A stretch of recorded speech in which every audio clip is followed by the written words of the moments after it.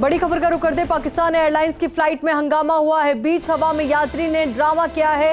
पेशावर से दुबई जा रही थी फ़्लाइट खिड़की और सीटों पर मारे लात घुसे। एयरलाइंस ने यात्री को किया है ब्लैकलिस्ट।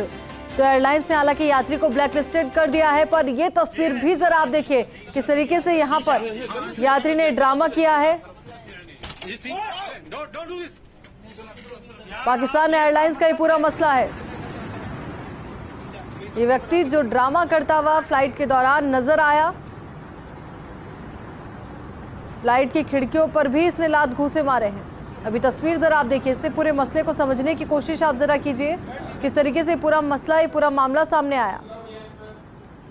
बीच हवा में यात्री ने ड्रामा किया है और फ़र्स्ट इंडिया ये सुपर एक्सक्लूसिव तस्वीरें इस पूरे घटनाक्रम से जुड़ी आप तक पहुँचा रहा है।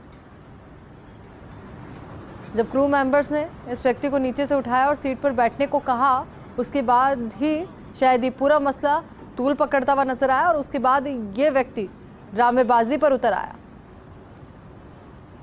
देखिए किस तरीके से ये व्यक्ति, जिसने पूरा ड्रामा किया, पाकिस्तानी एयरलाइंस की फ़्लाइट से जुड़ा ये पूरा मसला है।